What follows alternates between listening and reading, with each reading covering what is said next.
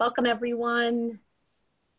As you come in, I um, will ask you to mute your microphone and please keep it muted um, throughout. Uh, if I do hear any outside noise, I may go ahead and mute it for you. Um, I am going to let you know that we are going to save questions until the end for this session. So please put them in the chat box. And we will be sending out a recording of the session afterwards. It'll probably take either later today or, or tomorrow to get it processed onto the Maryland Online YouTube channel. I want to introduce our speakers. Uh, Don Bone is an associate professor and director of the Multimedia Technology Program at Allegany College of Maryland. And Glenda Hernandez Tittle is a professor and program coordinator for the Education Department at Montgomery College. And I'm going to turn off my camera and turn it over to our speakers. Thank you. Okay, Wendy, thank you uh, for the invitation, and um, I appreciate uh, being able to share. And uh, um, I'm John Bone, like I said, or like Wendy said, from Allegany College of Maryland. And I also have with me. Hi, hi, I'm Glenda Hernandez Tittle from Montgomery College. I am in the School of Education. So, welcome to the presentation today. I see many online today interested in this topic. We were supposed to present back in uh, March, maybe, uh, when the pandemic hit. And so we elected to hold off on it because we were all uh, scampering trying to get things online. So I appreciate you bearing with us and uh, allowing us to reschedule for the presentation. So first of all, we want to um, get your your feedback. What are you looking for here?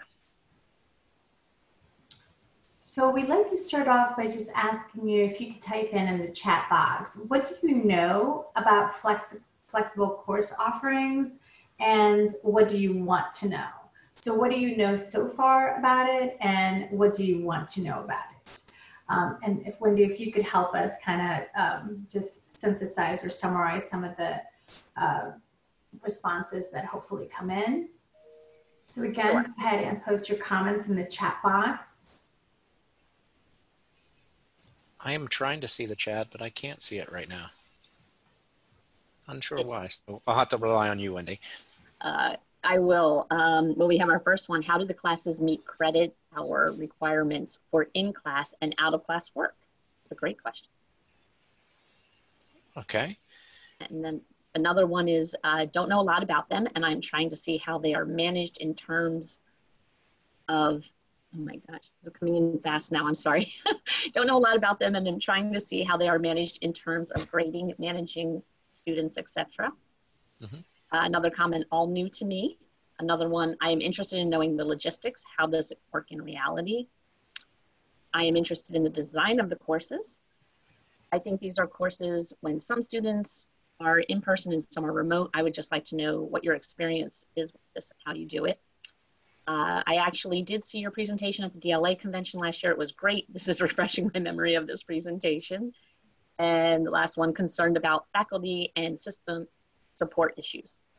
Okay, so great questions. Yeah, um, so we'll probably address all those as we're sharing today. So I think uh, those questions will be answered.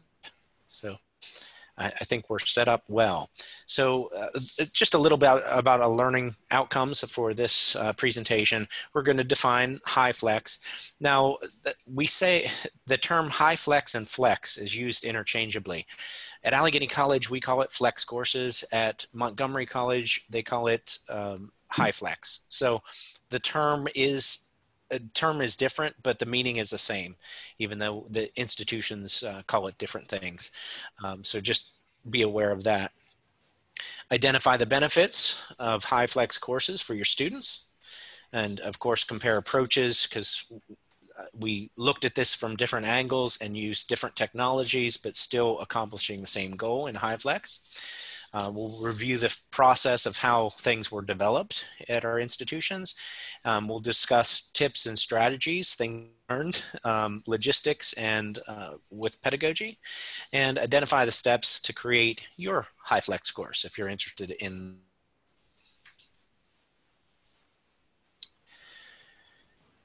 so what is HyFlex? i think this is mine is this my slide or is it glenda's that's yours oh okay did i i went out of order i think it's okay no you're doing great the definition. So, um, some people may think HyFlex online or hybrid, blended. Um, very similar. However, the most meaningful part of a HyFlex course or a flex course at Allegany College is students can attend however they see fit, however they are, it's convenient for them, and change those modalities throughout the semester. So, for example, if they register face class, they have to attend face to face. If they register for an online class, it's online 100%.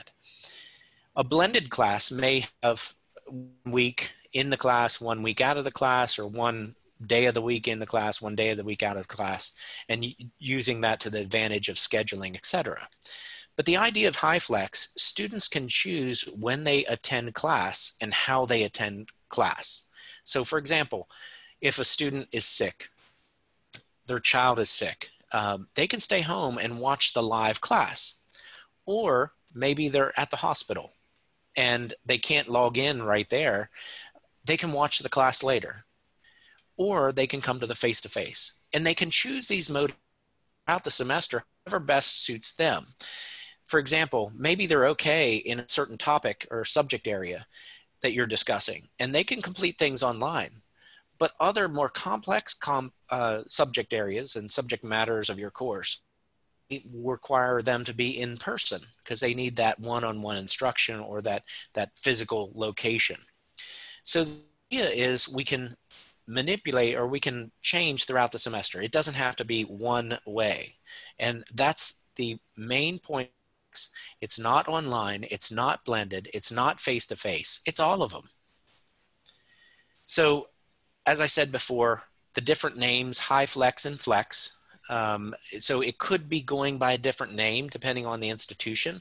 Um, there's little research on this. Um, admittedly, there's little research. So we're kind of doing this, if you will. As I said before, three modes of delivery. And these modes are all delivered simultaneously. So we have to make sure we keep that in mind as faculty developing a course and running a course, we're managing three different modalities all at the same time. We'll talk about that. So students choose how they attend. That's pretty important because we want to give autonomy to the students, being able to be flexible, especially in these times, right? We have, we all have to be flexible, um, but things are changing, right? There is a short video um, which you can look up on YouTube hard to play online. It's just kind of a commercial that we created here at Allegany College for our HyFlex courses. What it is not, as I said before, it is not blended. Blended will take a certain portion of the course will be online, a certain portion will be face-to-face. Now, some instructors will do 50% online, 50% face-to-face. It's not that. It's blended, it's online and it's all face to face, all at the same time. So it is more work. However, students really enjoy flex courses. So I hate to be the one talking all the time, but kind of the order of these slides. Uh, so Glenda will take over here in a bit. Wanted to talk how this came about at Allegany College several years ago. So first of all, it is learner centered. So giving students choices, options on how they complete things, students like that, being able to choose, right? We had an aging distance learning system and um, of course technology is constantly changing and we had gone through i believe three distance learning systems where because we have other campuses and other remote sites that are all linked by video conferencing systems so that system was aging So we needed to update something, change our way of thinking. Because years ago, this was the only way to communicate between those, those campuses. The internet wasn't as robust. People did not have broadband, so we had to change things up. We were looking for something different. Of course, it's innovative. We want to be innovative. We try to be innovative in, in our teaching to keep students engaged, right? Um, but the design of this course, flex course or HyFlex courses, uh, benefit many students from various backgrounds. Also, UD, U, UDL, Universal Design. So design, you'll you'll we'll talk about how the course was designed, but it's an online course. But there's different ways you can design it and different activities you can incorporate because you have asynchronous and synchronous online and face to face all at the same time that can be a challenge. So, as all we're trying new things to boost enrollment. So we we chose this uh, as one of the um, one of the legs that we can maybe boost enrollment and giving students more options because if they could not attend a face-to-face course, they could sign up for this flex course. We also, um, just to give you an idea where I came from, uh, I, we developed this here at Allegany College. I piloted it. I shared it at the Maryland Distance Learning Association conference uh, a few years ago, and then also uh, for, at the League for Innovation in 2018. And I didn't put in there uh, in 2000, uh, Glenda and um, Buddy from Montgomery College and I, we traveled to the US DLA conference to present in Nashville last year uh, in 2019. So, talking a little about Allegany College specifically, the idea was brought forth to administration. It was not my idea. Um, somebody saw it done somewhere else. And however, um, I'm technologically savvy, so I was able to think, how could I do it? And I, I think I, uh, and I know a colleague of mine uh, is on here today, at least one that I saw come in. Um, I think I, I try to be as innovative as, as, as possible at, at the college here and try to uh, do new things, and I'm okay with it. Um, so we had support for the development um, from the administration. And more importantly, the instructional technology area of the campus was instructional designers helping us develop. So at this point, we had interested faculty come on board. The technology requirements were discussed and asked for both for uh, all three of the faculty, the students, and the institution itself. What technologies would we need in place for delivering a flex course? We had training and support, again, by the instructional technologies area. It's called ELETS here. So ELETS was able to train faculty and being able to support them. Luckily, I'm in the same building, so when I had a question, I just walked down the hall and asked. Uh, so that was convenient. We had to discuss the legality of recording classes in the state of Maryland. Uh, if you did not know, I hope most know that in the state of Maryland, you cannot legally record somebody without their knowledge, not consent, their knowledge. So it's stated up front in the syllabus, it's posted on the doors inside the classroom that the class may be audio recorded. Um, and of course, if you're in Zoom, you're recording in Zoom, if there's a little record showing that it's being recorded. We also had to uh, have the section redesigned. Now, I'm a professor, an associate professor of multimedia technology, the director of that program, photos, videos, that kind of thing. However, uh, I do teach a couple sections, sections computer. Wanted to try this on the, the sections because there's more data in those sections because multiple instructors teach those. So I decided to do that course. I had full support from the director of and the, the chair of the computer science division. And then once everything was designed, and it's a hun- designed 100% online because technically somebody could take the class 100% online right? Um, so it has to be designed as a 100% online course. Therefore, it had to go through our internal process of review, similar to what Quality Matters is, but the internal review. So it had to meet certain standards before it was even been made available.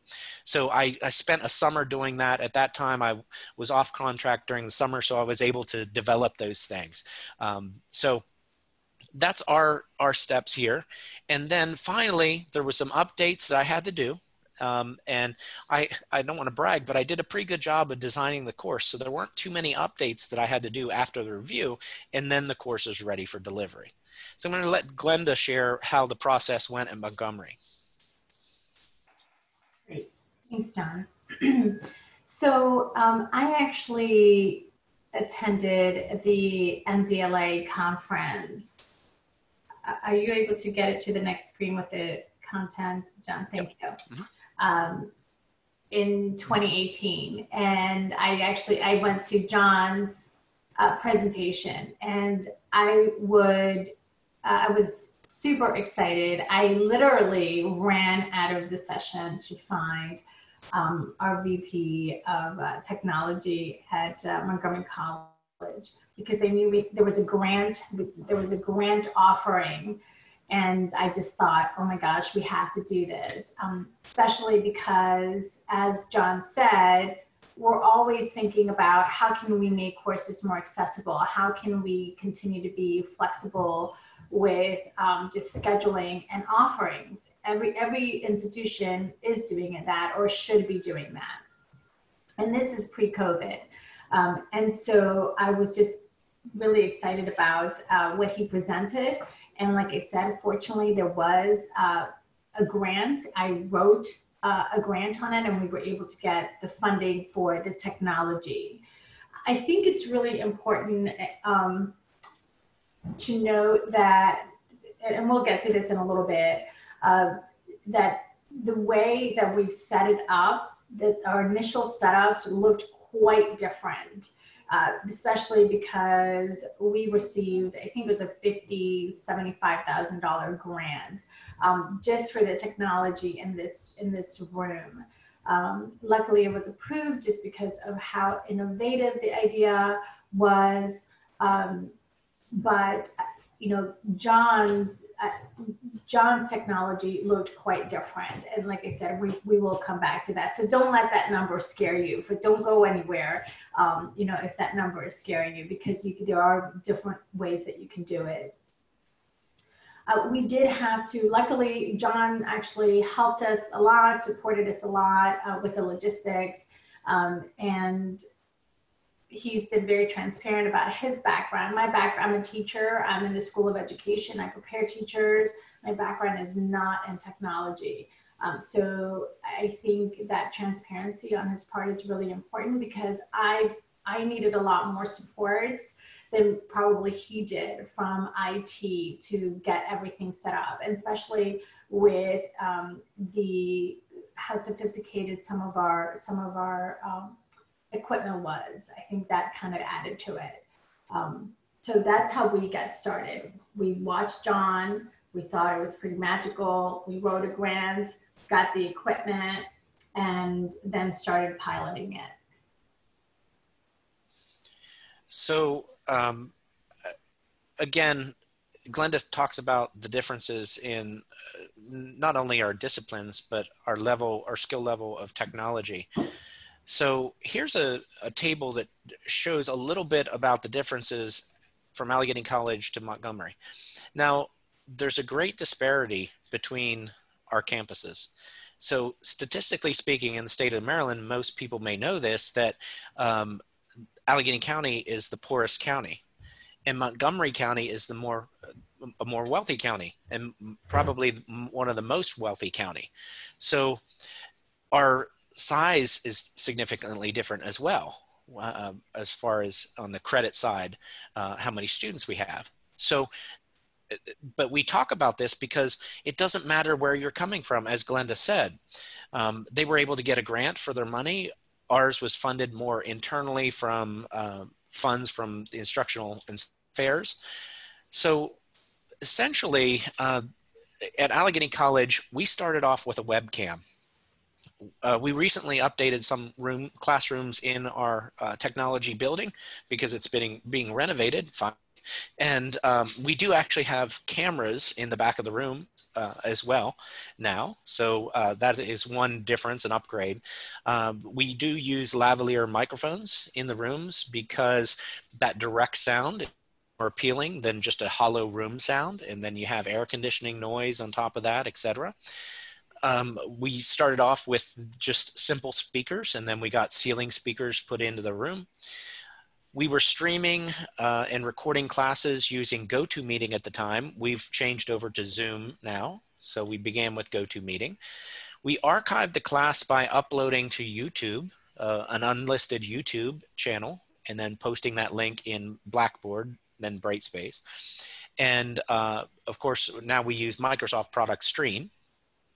We have the instructor workstation, which is essentially just a, a, a classroom computer, which has the webcam attached, etc. And of course, we're using uh, we had Blackboard. We started off with Blackboard in this process uh, and have changed um, over the last year and a half space. Uh, so that's where Allegany College is coming from. And uh, for us, I think there there were a lot of similarities, um, except one of our biggest ticket items was the camera, and it was. John, correct me if I'm wrong. I'm asking you what we had, but um, the camera actually, I think, was a purchase through Echo 360. We actually thought that we would be using Echo 360, and that was part of um, our ignorance at the time, we misunderstood what Echo 360 could really do. Echo 360 is a great product, but it was not really aligned with what we wanted because it's it's about engagement in the class um, for everybody who's in the class. However, we were able to install a camera that was able to move around completely around the room. We had speakers on the ceilings. We had, um, and we'll show you a, a visual of this, um, the TV monitor um, on the side. So the whole entire class could see those folks joining us from Zoom. And we did have the Smart Instructor workstation as well um, and BrightLink. And um, I do want to note that we started using Collaborate and it was just really wonky. We it just didn't work really well. Um, and then we moved to GoToMeeting, and then we moved to Zoom, and we stayed in Zoom. Once we found Zoom, it was just the best option for us. It, it had the most features for what we needed, and that's what we continue to use. So, as Glenn mentioned earlier, this was pre-COVID, um, so Zoom was not the hot thing, the hot product at the time. Uh, it was just another meeting, conference meeting uh, application. Uh, so just to show you a little visual representation of my classroom. So here's a, a picture of the classroom space that uh, we began in. Again, this was just updated and the room has a more fresh look. Um, furniture is the same, but it has a fresh look now uh, with the updates the uh, talking a little bit about my curriculum what i'm teaching again computer literacy which is comp 101 which is offered at any, any institution. Uh, we talk about the uh, concepts of computers how they work and then we talk about office. And we primarily use uh, for assessment a cengage product mindtap slash sam um, for those those uh, areas. And every class the same material, the same content. Um, now the order can be switched up, etc. But uh, each instructor uh, is using the same textbook, the same MindTap, Cengage uh, site. And that's where I'm coming from here in Allegany. Okay, and so I want to talk a little bit about um, my classes, and I actually have seen a couple of questions come in, great questions come in about how does this work if you have group activities? Somebody mentioned specifically nursing um, or fitness. Um, and again, this is pre-COVID, right? Like now everybody has to do, like figure out how to do it. You, you have to do it, but uh, for me, being in, in teacher education, that was a significant part of my planning. I did not want to, um, and and I, I hope what I would say comes across how I'm intending to say it. I think there are differences in courses. Some courses can be delivered in a much more didactic manner, and that's just the nature of the course.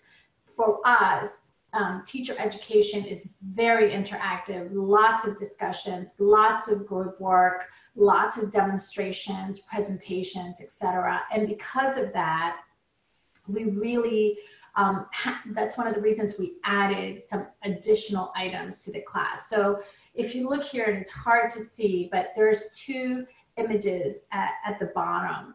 And this is where I'm presenting. The one on the left, it, that's actually, I think that's me, or it's a student. Um, but that is the visual of the class. That is in class, what we, what the student would be able to see from home. That's what they're seeing in class or in class picture. And so when we had group activities, we actually, I assigned students who were joining us um, asynchronously to a group, either a group that was, I'm sorry, the group, the students who were joining us synchronously, I assigned them to work together with the other folks who were working synchronously, or sometimes I would even assign them to a group that was in the class. And then what we saw on our side, if you look at the right hand, um, uh, at the right screen, bottom right screen, that's one of our students who is sharing out his warm up results or a question.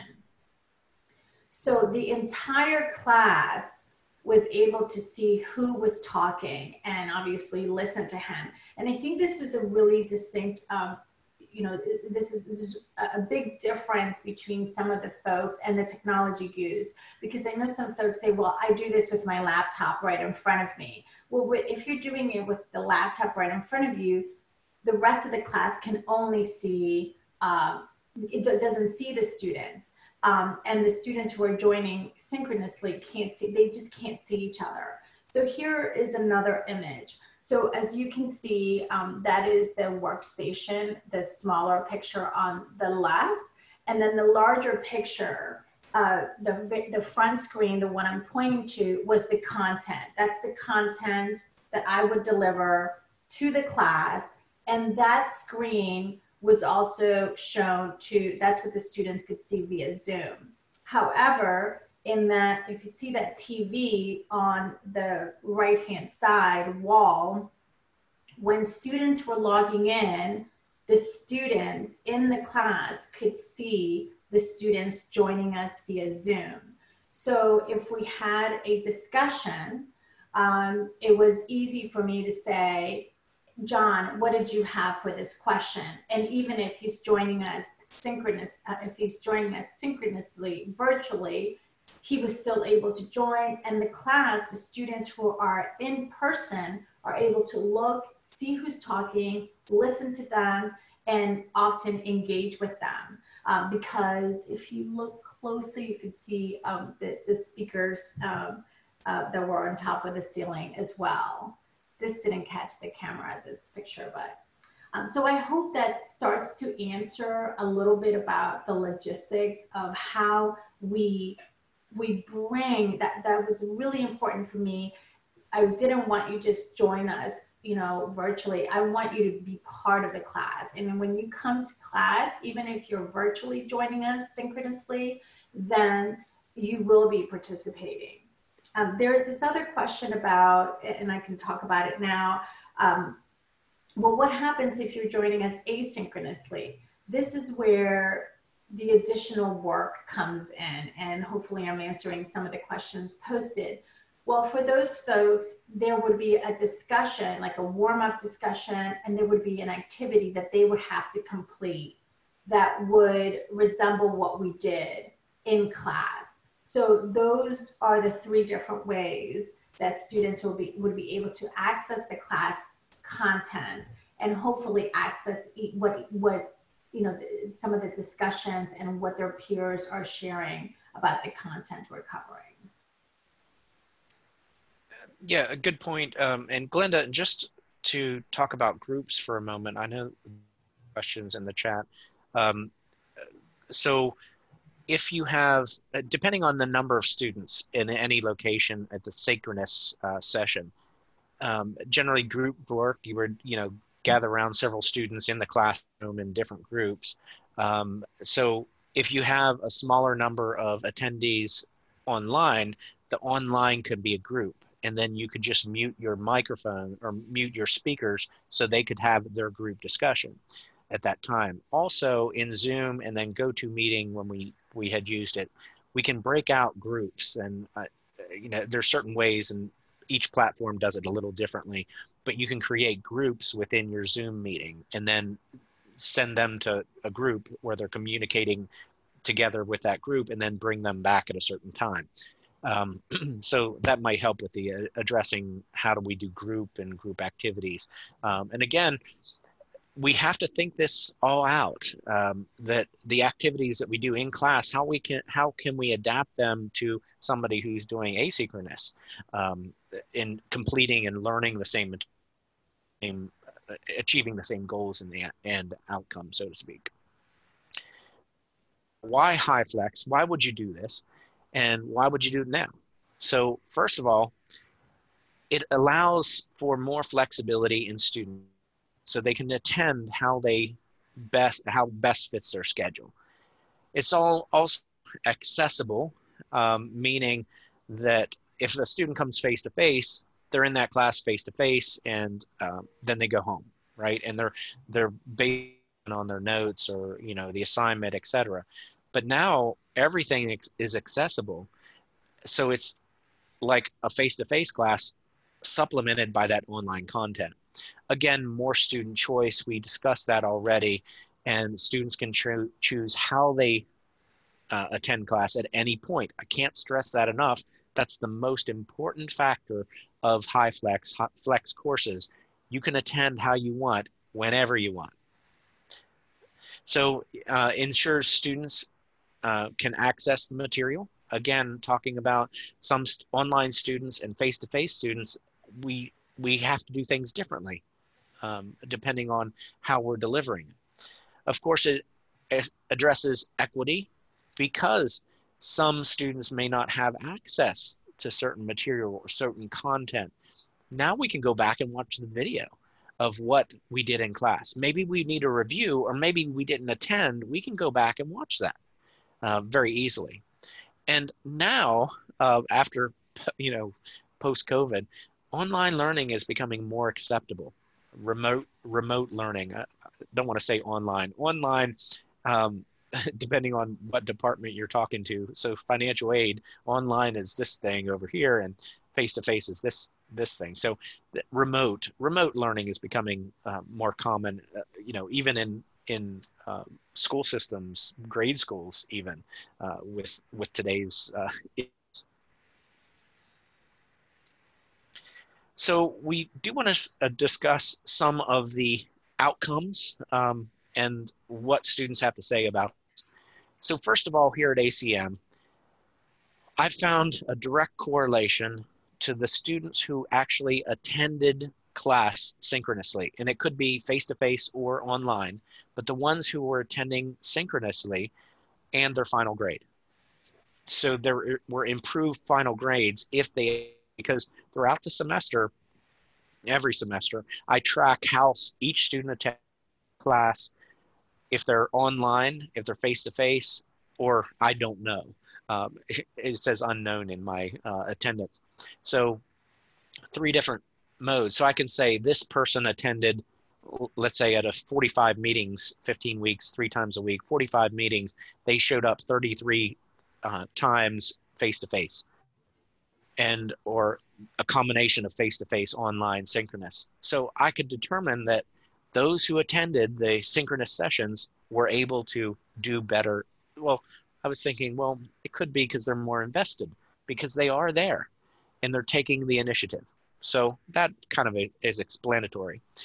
Also there is a 3% higher rate of success or higher grade percentage in a flex course statistically speaking because um, I've looked at this, I've asked for the data, um, and 3% percentage points higher in a flex course. Now, I teach flex course, uh, the flex course um, here at the college, and the only computer literacy uh, section until this this uh, more recently.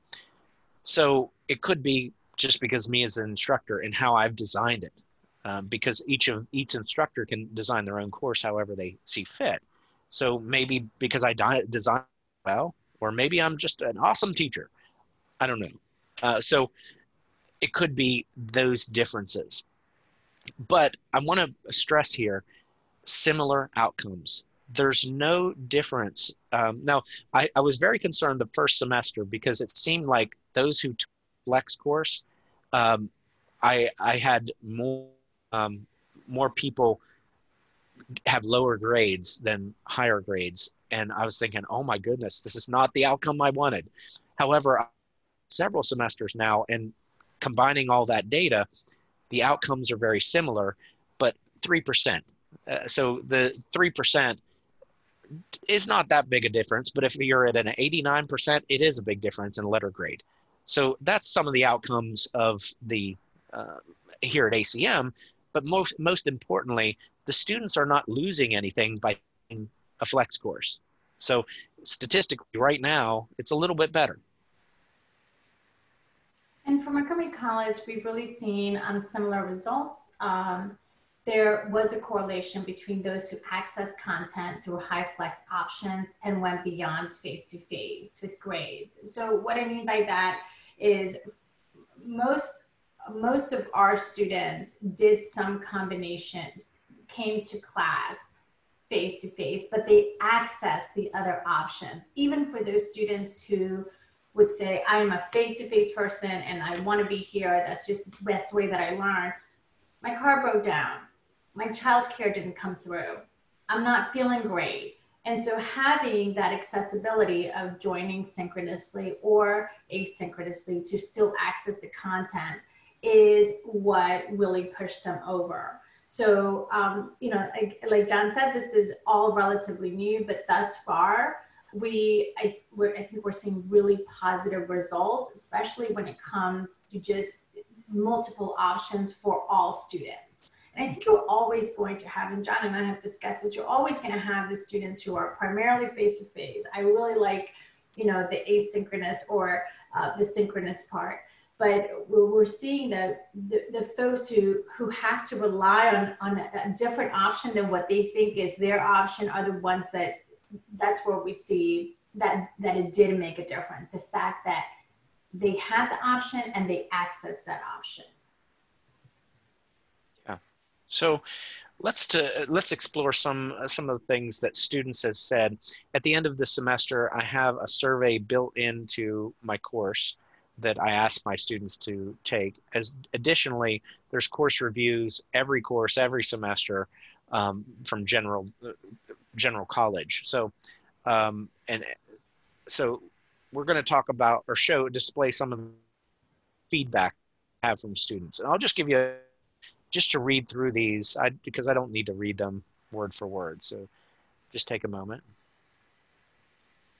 And we're going to show you two of these slides. And what we'd like for you to do is just think about what resonates with you. Um, what do you think, uh, where do you think your students could benefit based on what you're reading? And again, there's going to be two of these slides where it's, it is student voices. And we just like for you to think about what stands out to you about these comments from our students.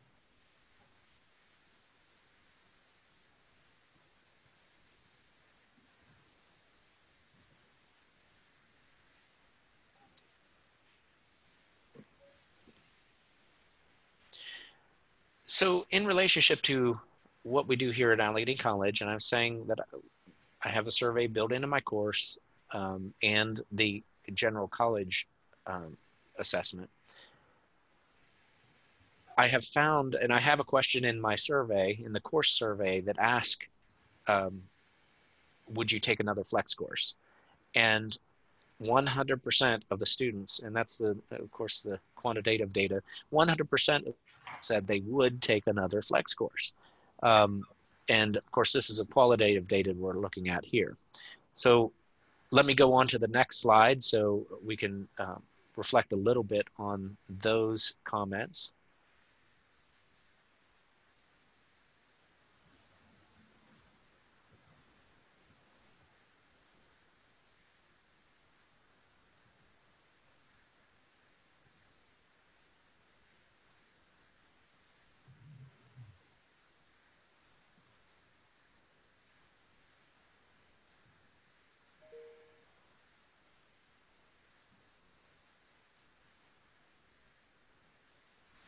So as Glenda said, um, if you type in the chat, um, what do you think strikes you the most about these comments? What, what sticks out to you?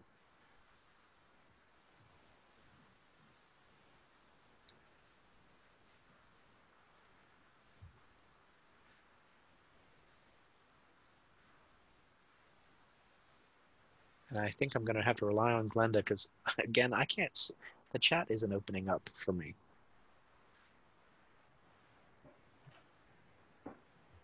Convenience.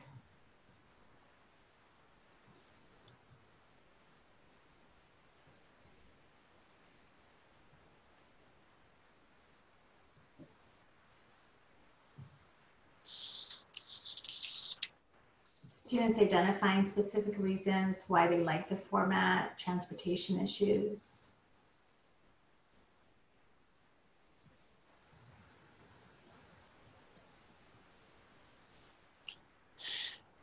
Provides a chance for all students to be successful no matter their circumstances.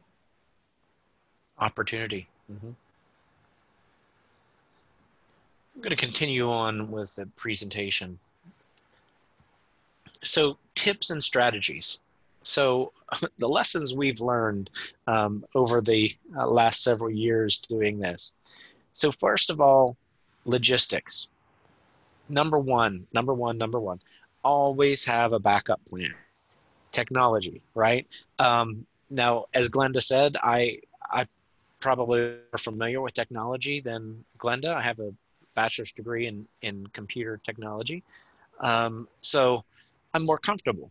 And I can, if something isn't working in my classroom properly, I can troubleshoot a little bit. Of course, I, I don't have passwords and things. I'm not trusted enough, as most of us are not. Um, so uh, I can troubleshoot a little bit. However, make a backup plan. Have a backup plan and let the student up front that this is a flex course and we never know about those those uh, things that might creep up. The internet might be down, um, our connection is is weak, what, whatever it is. Um, it's not easy. This is not easy. It's a, not an easy process.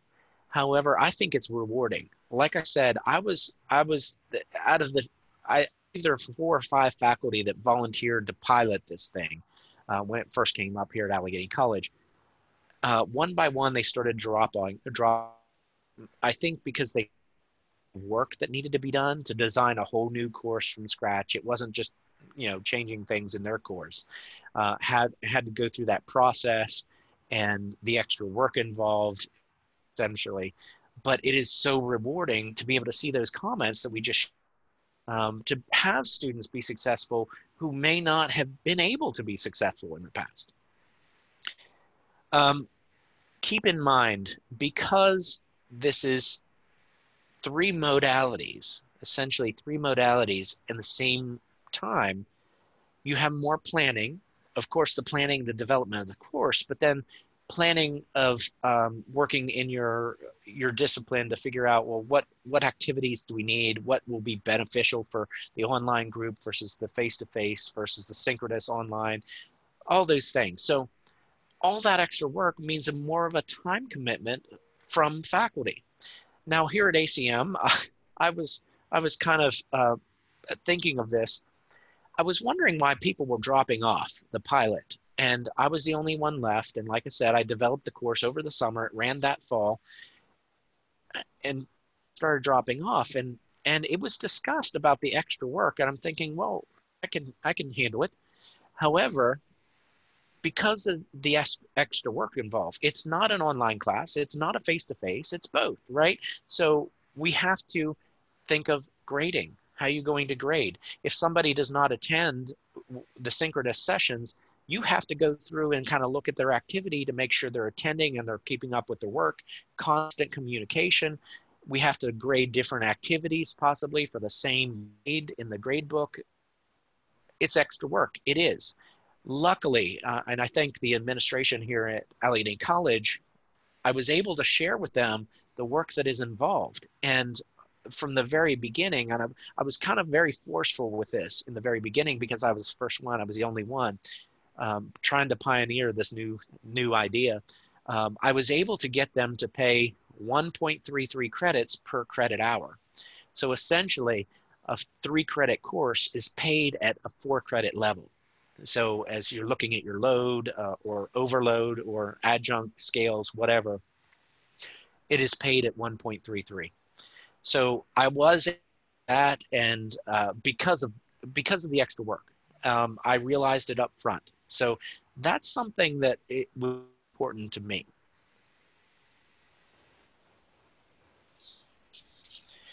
I think Glenda, you were going to talk a little here.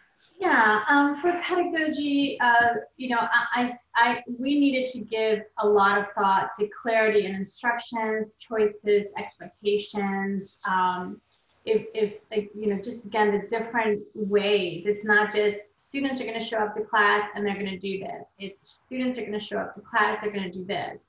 Then these students are going to show up virtually. What are they going to do? How am I going to count attendance participation for them?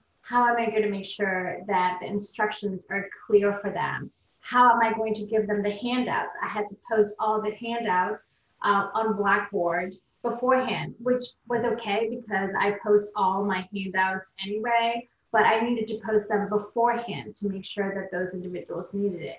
For students who were going to be joining asynchronously, when was the assignment going to be due and what were going what were they going to do in lieu of you know, the activities that the rest of the class had done um, synchronously or face to face. So that really takes quite a bit of thought, um, you know, in terms of instruction, in terms of rubrics, and just making sure that stu- that students knew if you choose to do this part, it's okay. This is how you're going to get get graded. If you choose to come back face to face, that's okay. You're going to be still be graded this way. So just know that that's going to take a bit of time, especially on the front end. And then once you, the more you do it, like anything else, it starts making more and more sense. Um, but I think when you're first designing a course to go into HyFlex, just know that that's going to take a bit of time. Luckily for us, because of the grant, we had that release time to be able to do it. Um, we still do not get paid. We still get paid the regular one credit per hour at Montgomery College. That's something that we're hoping to change because, as John said, it is not just face to face. It's not online. It's you're delivering in multiple different ways. So I would encourage you, as you start discussing the design of this, to also immediately on the front end start talking about um, the fact that it does take more time and faculty should compensate should be compensated for that extra time. Yeah, incidentally, I have a colleague who, during this time that we're starting up remotely um, on at some institutions, and uh, what we did in the spring, he, he's like, now I understand what you did with all that flex work. You know, having to record and post and do the extra work involved how can you uh, flex at this point? Well, start small.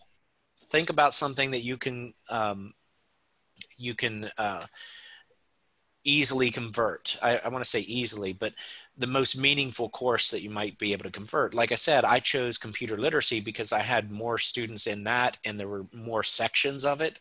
So students then could choose which section they, they, um, contents and considerations is Glenda had talked about when we're discussing um, the ideas of HyFlex.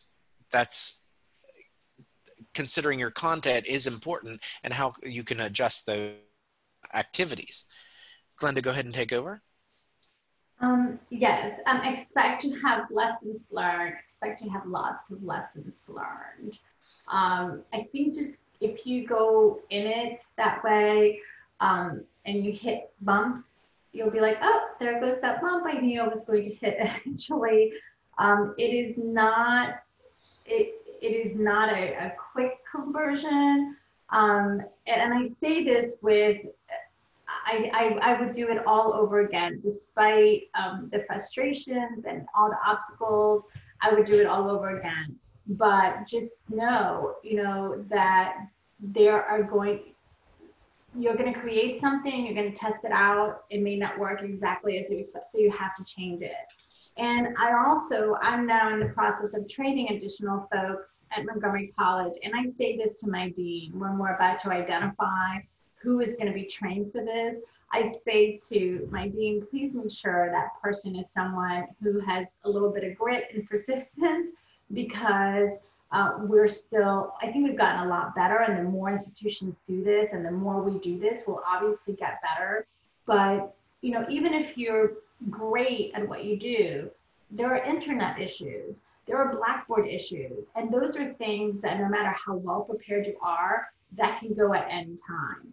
Um, so I think that part is important. Technology is constantly changing. Like I said, if we started with Collaborate, then we moved to um, meeting, and finally we're in Zoom.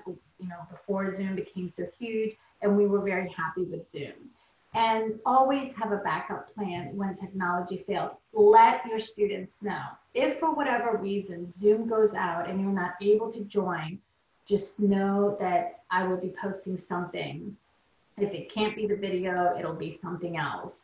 Uh, and just reassure them um, not to panic because the, the content will be delivered to them one way or another. And remember, as I said earlier, you can do this with a laptop and a free Zoom meeting. Um, you know, it won't, it'll look a little bit differently, but you can start that way. Or, you know, if you have the opportunity that I did, we feel very lucky to have this grant. We could go really all out with our technology, which was great, and it allowed us to do more in the classroom. But just know, don't let price tags scare you because there are many flexible budgets. Good point. So let's talk about post-COVID. Um, um, I just want to say, first of all, the institution has to have face-to-face courses to be able to have HyFlex. If not, it's strictly an online course.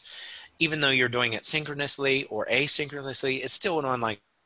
So we here at Allegany College, we are actually in the in college. I'm on campus now.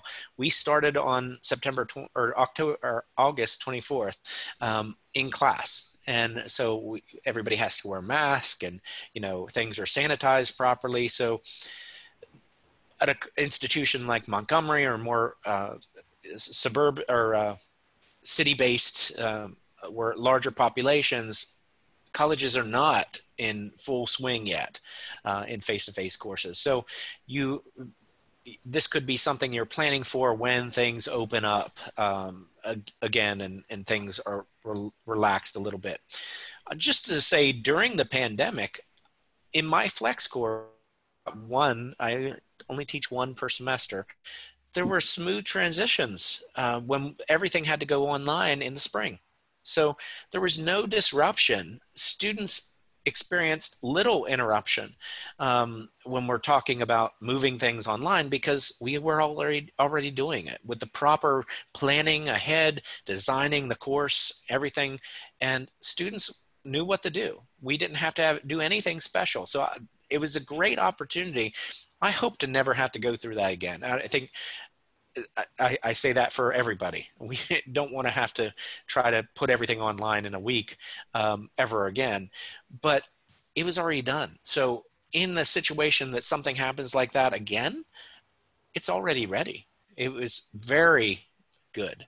Now, as students are quarantined, I, I actually had one who sent me a message that she was going to go to the the uh, Med Express because she wasn't feeling well. There's a possibility that she could come back and say she has to quarantine. Well, Flex Course, she can still join us remotely. We don't have to worry about um, students um, coming and uh, affecting other people because everything is online and prepared. Of course, she didn't really come to campus anyway, um, so it's not like she's spreading it around here. But the idea is it was a great option during the, the COVID times. Now we're a little late for that and uh, for this semester, that experience, but if it ever happens again, we're ready. So that post-COVID idea, um, it, it really was a smooth transition for me. Now, all my other classes, I mean, I had to teach photography and video production at a distance. Uh, crazy. I mean, I was in my living room, you know, I had my son model and I was, you know, getting stuff that students would have around the house and teaching about studio lighting. That was challenging. But this, it was an easy transition because I had already planned it all out. So we want to take, uh, answer any questions we may have not answered to this point because um, we're, we're about to the end of our presentation. I know Glenda has a class to get to, um, and I do too. So questions. Let me see if I can see the chat. I can uh, read them. I can read one to you. Uh, Go ahead. Do you give different assignments to each format for all, some, or none of your course assignments? If so, how do you ensure these are equitable in terms of time and rigor on the part of the students? So you are the content expert in your field. I mean, I'm multimedia and technology. Um, so I have to determine what would be best for that student to make sure the outcomes are, are met. So maybe it's adjusting the face to uh, activity and the synchronous activity to match what, what I need to do online or vice versa. Glenda, you want to address a little bit? Yeah, I try. I definitely give that thought, um, Terry. Uh, you know, I think about what what is comparable. So if students worked for 20 or 30 minutes developing accommodations for kids with autism, um, and and um, that that uh, I know that video has been posted already. I will say for the asynchronous group, please select two or three video resources or article resources that are different than was already than what was already presented in the from your peers in class. So I I consider that you know I want them. I, I really think about the higher order thinking strategies, and and so we try to avoid um, some of the recall questions for those types of activities like true, false, or whatever, or otherwise I have to change it around. But I think that's the one area where you really have to give it some thought, what's comparable um, and, and what's fair, you know, for, for everybody to have, to feel like there's rigor in the different courses, regardless of the format um, that you're taking it in. Wanted to uh, talk about uh, something that was mentioned at the very beginning about credit hour meeting requirements. Again, we are meeting face to face for the required time. So my credit, my class is a three meeting three times a week, 50 minutes each, which is uh, two and a half hours, which is the required time um, for a three credit course. Again, honestly, face to face and online. Um, so that that meets the requirements of the credit hours uh, as per the state of Maryland. Yeah, and I also want to clarify in case this wasn't clear, uh, the when students take the choose to take the course or that particular session asynchronously, their task is to watch the the, the meeting, the face to face meeting. They have to watch that face to face meeting and then it's just the assignments that were completed or any of the discussions that were completed during that class that they would have to complete themselves. You're not doing a totally different session for your folks who are joining you asynchronously. So if, if that wasn't clear, I wanted to make sure to clarify. I have to go because I have an 11 o'clock class, but I do want to thank everybody for um, joining us. I don't know how much longer John can stay, but Thank you so much, everyone. Thank you, Glenda. And actually, there are, it looks like that's it for the questions. And I want to thank both our presenters. They did a wonderful job today. Uh, again, the recording will be sent out soon. Um, and thank you. Great. Thank you. Reach out with any questions. Thank you for all your time. Uh, thank you, Wendy, uh, again for organizing and uh, arranging it. Sure. Thanks. Take care, everyone.